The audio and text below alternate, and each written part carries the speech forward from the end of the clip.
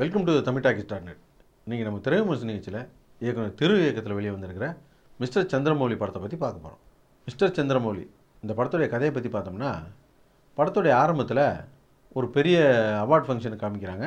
அந்த அவார்ட் ஃபங்க்ஷனில் டைரக்டர் மகேந்திரன் ஒரு ஊபர் ஓலா இந்த மாதிரியான ஒரு கால் டாக்ஸி முதலாளியை காட்டுறாங்க.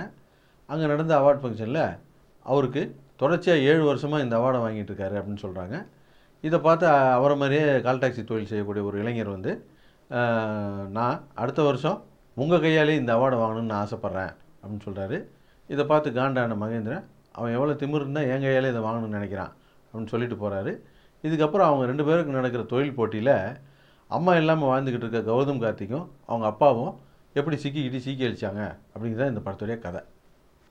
இந்த படத்துடைய கதையே போதுமானது தான் ஒரு பொழுதுபோக்கு படத்தை கொடுக்க. ஆனால் இந்த படத்தில் ரெண்டு ஹீரோ இருக்காங்க ரெண்டு ஹீரோயின் இருக்காங்க ரெண்டு வில்லன் இருக்காங்க. இந்த ஆறு கேரக்டரில் நாம் யாரை ஃபாலோ பண்ணுறது அப்படிங்கிறதே தெரியல. அதனால் எந்த கேரக்டரோடையும் நம்மளால் ஒன்றி போக முடியாமல் படத்தை முழுமையாக ரசிக்க முடியாமல் போயிடுச்சு.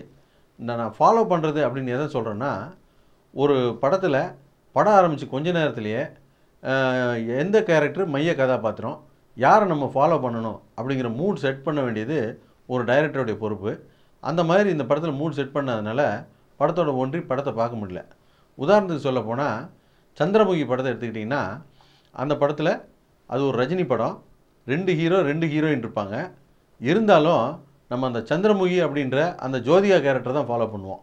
அதனால் மட்டுமே தான் அந்த படம் மனசில் நின்றுச்சு நமக்கு. அதே போல் ஷோலே படம் பார்த்தீங்கன்னு வச்சுங்க. அந்த படத்தில் ரெண்டு ஹீரோ இருப்பாங்க. அமிதாப் பச்சன் தர்மேந்திரா. ரெண்டு ஹீரோ இருப்பாங்க. அமிதாப் பச்சனுக்கு வாழ்க்கையில் ஒரு பெரிய திருப்பு முனை ஏற்படுத்தின படம் அந்த படம்.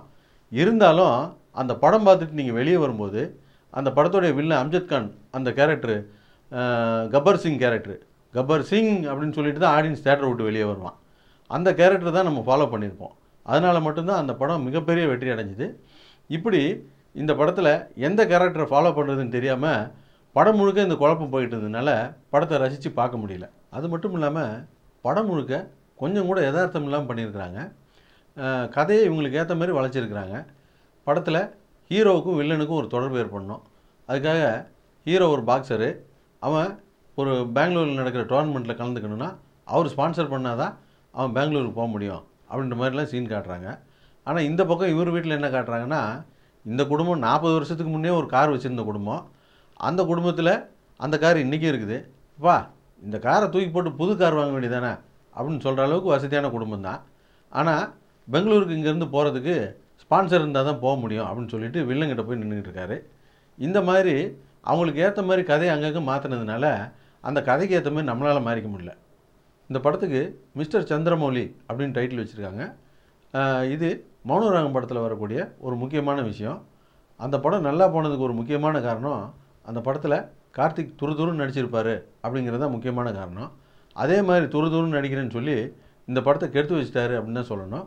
அதே சமயம் கௌதம் கார்த்திக் படத்துக்கு படம் நடிப்பில் வித்தியாசம் காட்டிக்கிட்டே போகிறார் நல்லாவே நடிக்கிறாரு. இந்த படத்தில் செகண்ட் ஹாப்லலாம் அவருக்கு ஒரு பார்வை கோளாறு வரும். அந்த சீன்லாம் ரொம்ப நல்லாவே நடிச்சிருக்காரு. மொத்தத்தில் இந்த படம் எப்படி இருக்குது அப்படின்னு கேட்டிங்கன்னா படத்தோட கதைன்னு எடுத்துக்கிட்டால் ஓரளவுக்கு சுமாரான ஒரு பொழுதுபோக்கு படமாக இந்த படத்தை கொடுத்துருக்க முடியும். ஆனால் இவங்க திரைக்கதையில் கோட்டை விட்டதுனால ரொம்ப ரொம்ப சுமாரான படமாக போயிடுச்சு. எங்களுடைய நிகழ்ச்சிகள் உங்களுக்கு பிடித்திருந்தால் உடனுக்குடன் கண்டுபிடிக்கிற கீழே உள்ள யூடியூப் சேனல் சப்ஸ்கிரைப் பண்ணுங்கள் ஃபேஸ்புக் ட்விட்டரில் லைக் பண்ணுங்கள் ஃபாலோ பண்ணுங்கள் நன்றி. வணக்கம்.